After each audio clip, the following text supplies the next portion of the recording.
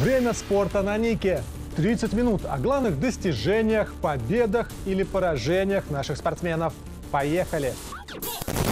Малый Ярославец выиграл Кубок области по регби-7. И это уже становится традицией. Калужское дерби завершилось ничьей, но очень увлекательной. Он готов прогреметь на весь мир. Продолжение интервью с бойцом Ильей Варварским. Киберспорт. Неплохие результаты сборной МГТУ на всероссийской арене.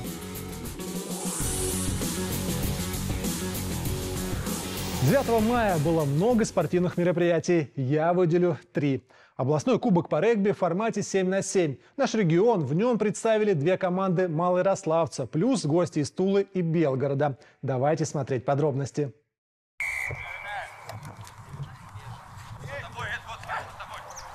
Матч между малоярославецкими медведями и Белой крепостью стартовал с удачной попытки наших. Гости через минуту также ответили результативной атакой.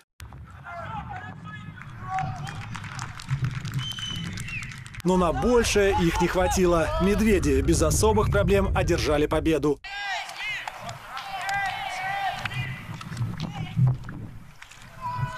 Поддержали своих и игроки основной команды «Малый Ярославец». Матч с тульским «Арсеналом» прошел по схожему сценарию. В первом тайме равная борьба. А во втором – полное преимущество хозяев. Мы просто приехали провести время с хорошими ребятами, поиграть в семерочку, провести, как говорится, э, праздничный э, выходной. Борьба за главный трофей между командами Малоярославца выдалась жаркой. Не обошлось без стычек.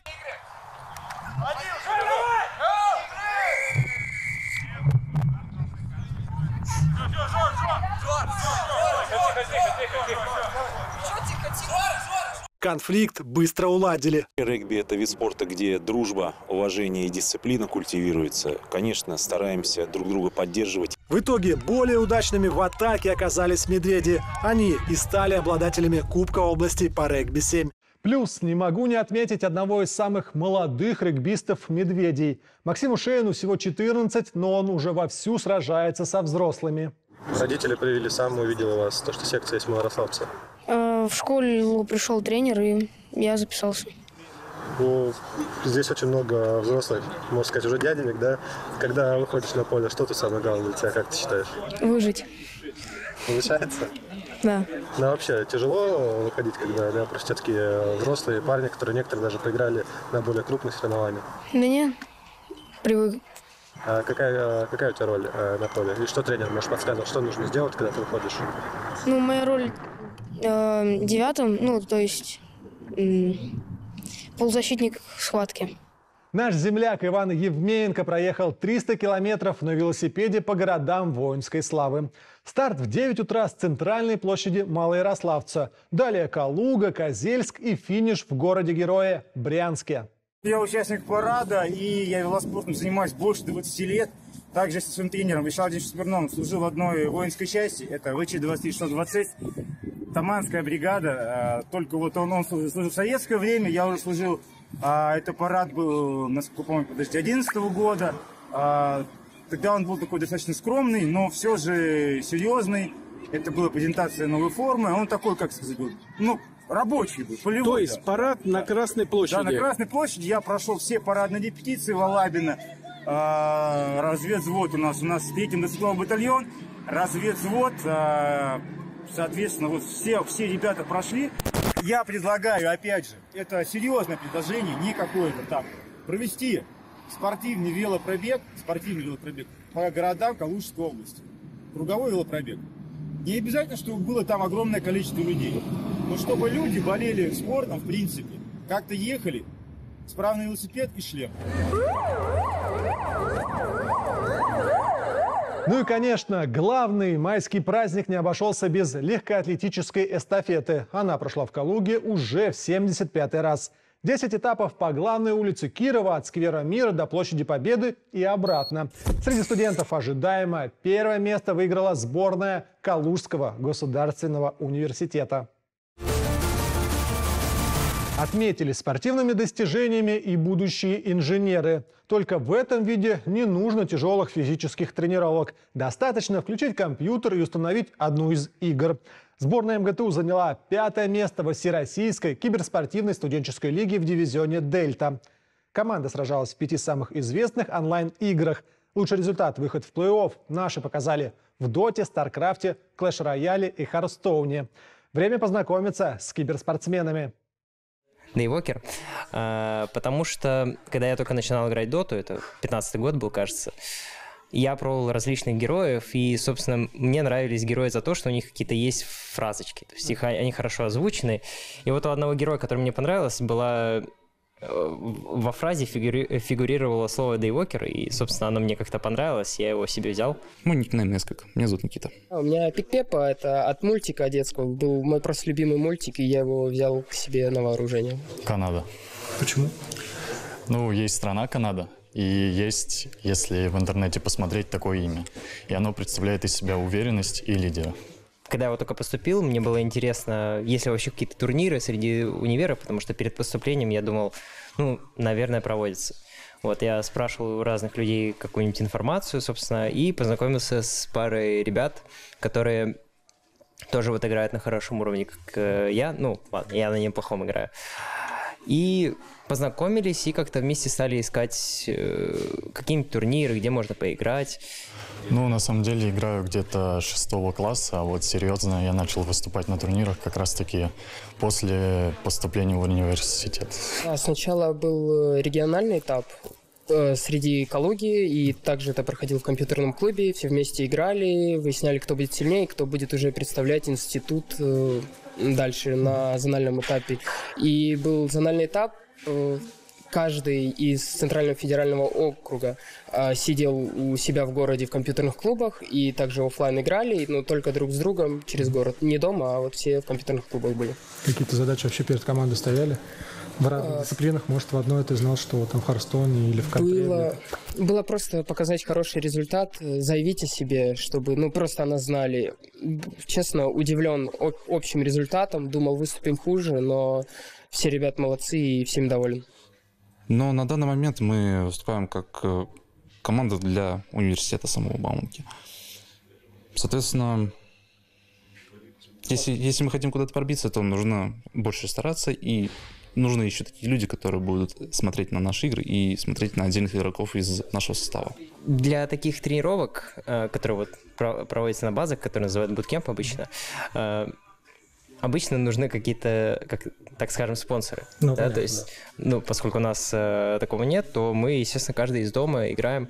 Насчет уровня игры, ну, примерно мы все находимся на одном уровне. Все на самом деле вышло неожиданно, потому что я раньше не выступал же на турнирах угу. по киберспорту. Соответственно, ну, мой первый турнир был, который проходил в Калуге, это чемпионат Калужской области.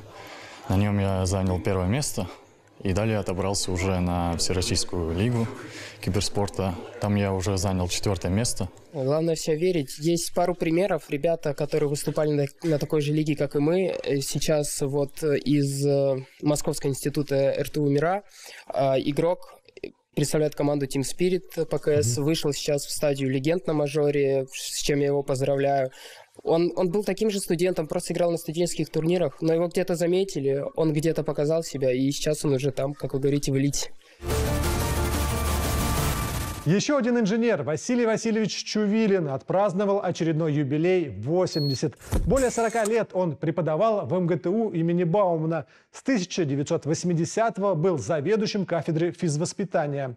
Мне кажется, тут не нужно много слов – Василий Васильевич, вы воспитали практически половину Калуги. Вас многие знают, вас многие ценят. Желаю вам здоровья на долгие годы. Переходим к хоккею. В эти выходные во Дворце спорта «Центральный» проходит международный турнир. В нем принимают участие семь команд из Белоруссии и России. У вас еще есть шанс попасть на финальные игры. А если не получится, то все подробности вы узнаете в следующей программе. А теперь к событиям уже состоявшимся. Жуковский маршал стал обладателем Кубка губернатора 2022. В заключительном матче была обыграна Медынь 5-4. Отмечу, что в этом году жуковские хоккеисты сделали дубль. В апреле они уже выиграли Кубок Калужской области.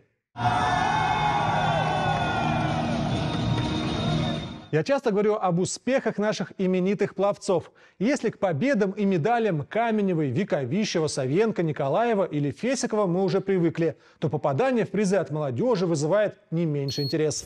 Полина Иванушкина из Обнинска стала второй на первенстве России в Саранске на дистанции 100 метров брасом.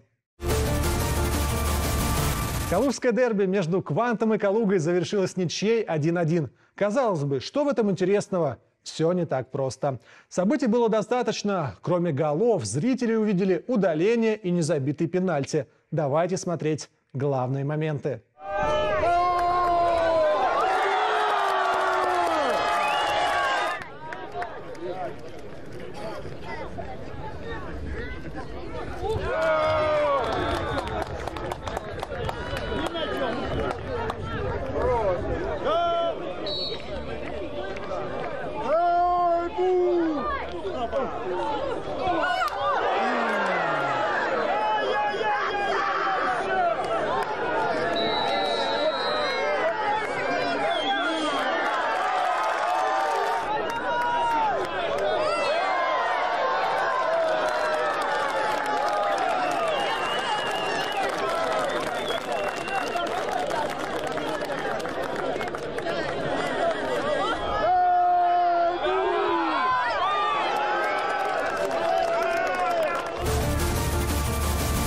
Перехожу к нашим бойцам.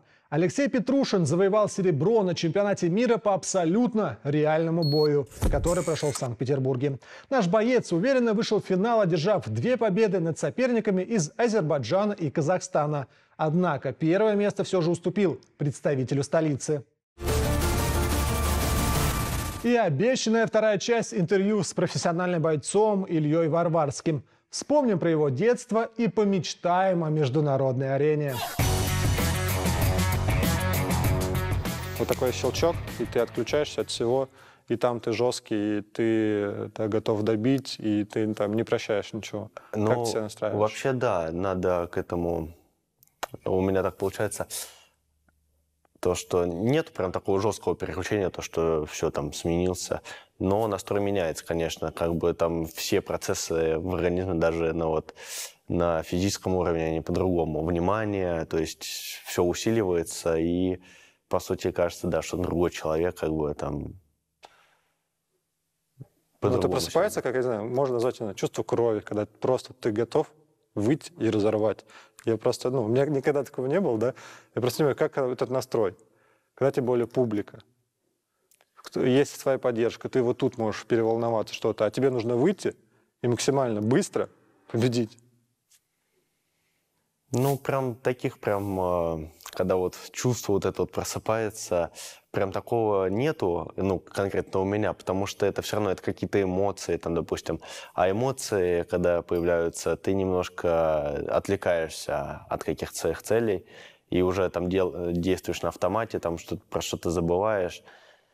Поэтому я стараюсь более к этому хладнокровно подходить. Но иногда бывает, да, когда уже, особенно когда все силы кончаются, уже все на внутренних резервах идешь, и как бы там уже без вариантов уже и чувство какое-то открой появляется, и там уже такие моменты, то, что думаешь, блин, скорее бы все это закончилось, там, либо я сейчас сам отъеду тут, либо он отъедет, тут уже там такие чувства неописуемые. Это только вот... Давай тогда попробуй. твой самый сложный бой.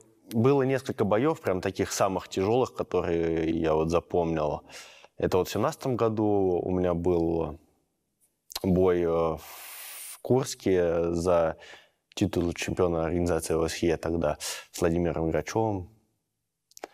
Вот. Э, там очень такой тяжелый бой был, трехраундный, потому что он по опыту, он, к сожалению, там погиб в автокатастрофе. Вот. Вскоре после этого. Но тогда был очень тяжелый бой, потому что он э, как боец был и как бы и поопытнее меня, и он дома представлял Курск, то есть у него поддержка была большая, я выходил как бы так. Вот. Самый должен был выиграть он. Но победил я, был очень тяжелый бой в третьем раунде. Я там произвел добивание и победил. Это вот один из... А второй э, из самых тяжелых боев, наверное, был в, в том году, получается, в 21-м а, на ММА серии, там, где у меня бой закончился в ничью, там с Шахмаром Садыговым, с азербайджанцем.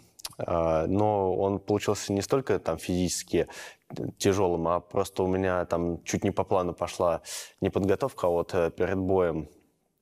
То есть э, разминка не так пошла, и там некоторые нюансы были еще там. Очень э, там тошнило во время боя. У меня там никогда не было такого чувства, что после второго раунда у меня закислились руки. Для меня это было просто в новинку, то, что руки закислились, и после боя уже меня тошнило очень потому что э, ну, все спортсмены там какие-то принимают добавки, витамины. И вот э, я выпил там свои добавки, которые мне надо было, витамины, но я их выпил поздно перед боем, и у меня не успело это все усвоиться, и все, и жестко. меня тошнило. Я думал, сейчас я прям в клетке в этой. Думаю, главное сдержаться. Вот. И поэтому в целом бой получился очень тяжелый, потому что я сам себе... Сам с собой просто боролся с своим да, организмом. сам с собой привез. И после боя, когда это все закончилось, я просто сел, я даже встать не мог просто час. А давай отмотаем а, назад. Как ты вообще пришел?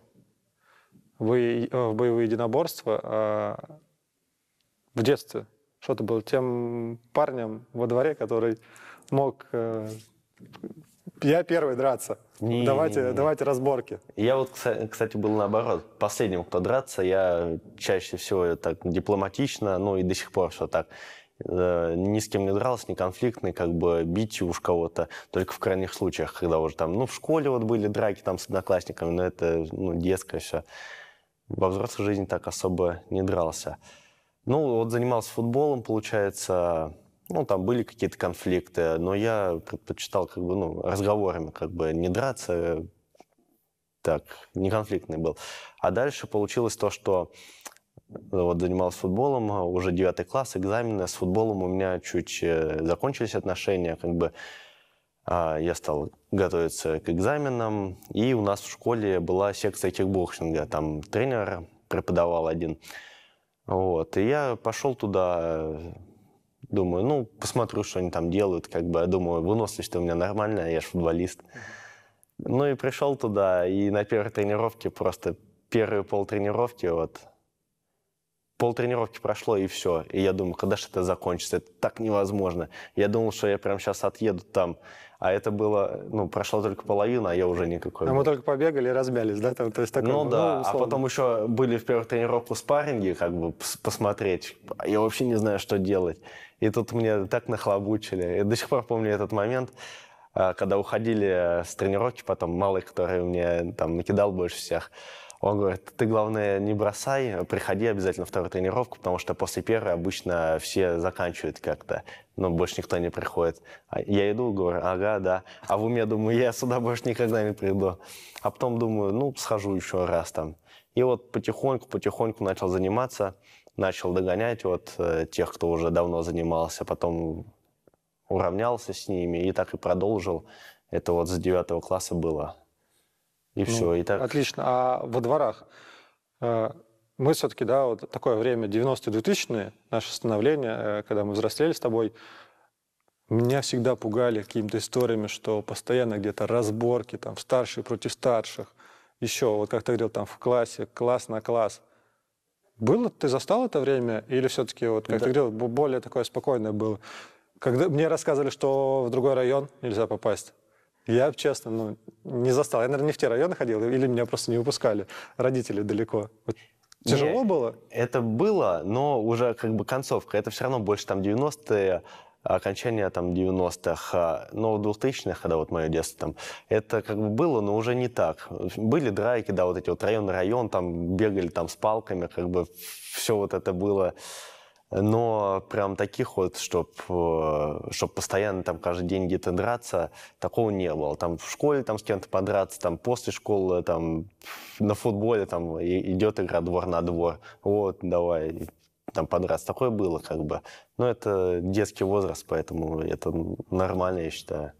Ну, видишь, ты стал профессионалом, а я в детстве... Меня родители отдали на карате.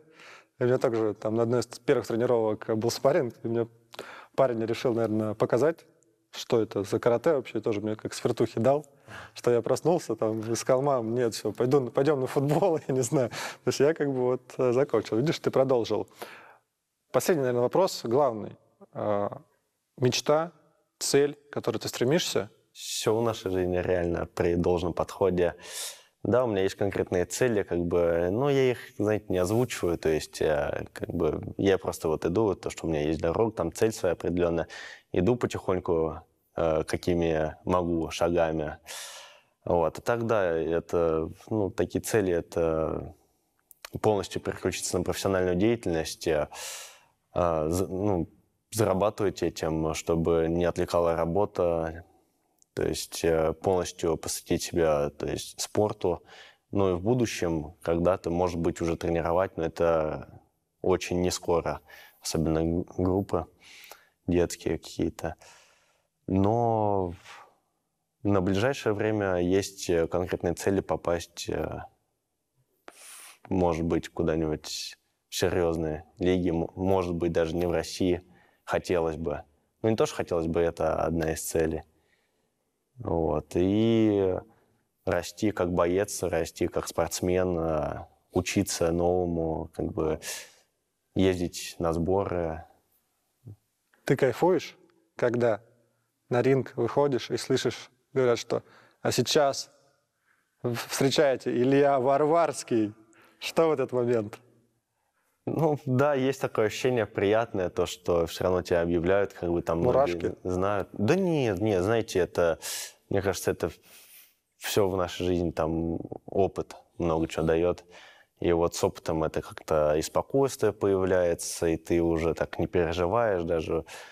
Вот. Нету таких прям вау эмоций. Вот поначалу, да, когда там первый, может быть, второй бой, максимум, первый, второй там бы. Еще было что-то такое, ты выходишь и ты думаешь, фу, все на тебя смотрят, все равно это внимание, это энергия там бешеная.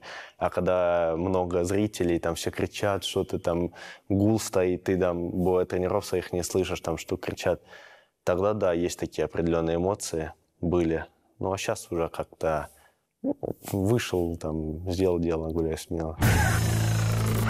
В завершении программы отправимся в сквер Волкова на беговую тренировку от Александра Чайки. Он уже протестировал новую площадку. Время и вам на ней побывать.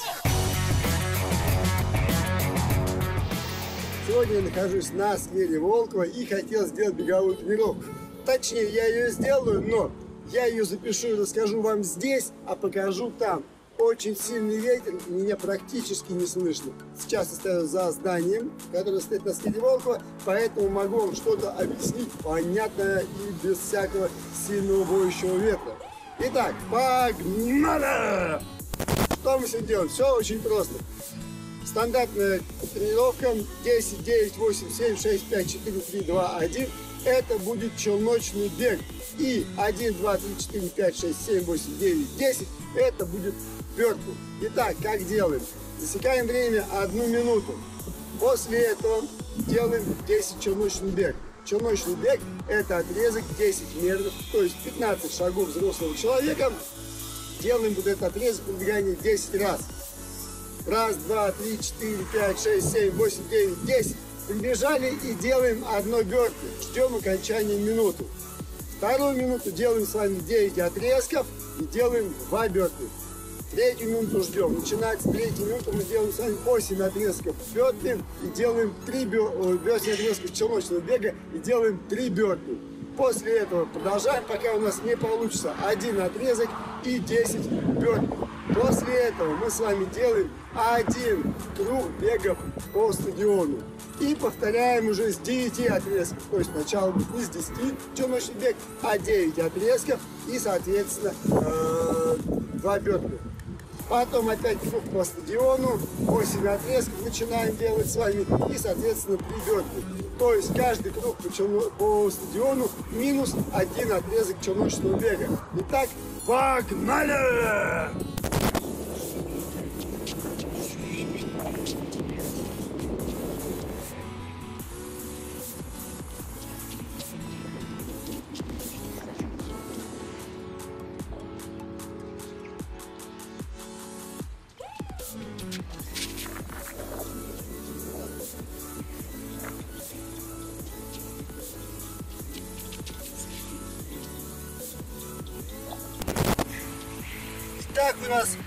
8, 7, 6, 5, 4, 3, 2, 1.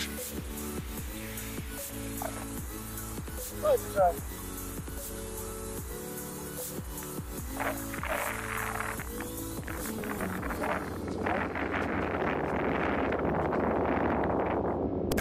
Темп такой, чтобы мы могли восстановить дыхание. Побежали. Итак, подводим итоги нашей тренировки. Мы с вами делаем челночный бег плюс бёрпи. Челночный бег мы сокращаем, а бёрпи мы увеличиваем. После каждых 10 минут работы челночный бег бёрпи мы делаем с вами 400 метров бег по стадиону. И начинаем уже с 9 отрезков и, соответственно, двух бёрпи. Потом э, делаем еще кружочек, и на этом можно закончить. Будет уже ровно полчаса или там 40 минут. Поэтому всем удачи, обязательно занимайтесь спортом оставайтесь с нами на Ника ТВ. На этом на сегодня все. Будьте в форме, оставайтесь на спорте. С вами был Антон Носов. Увидимся.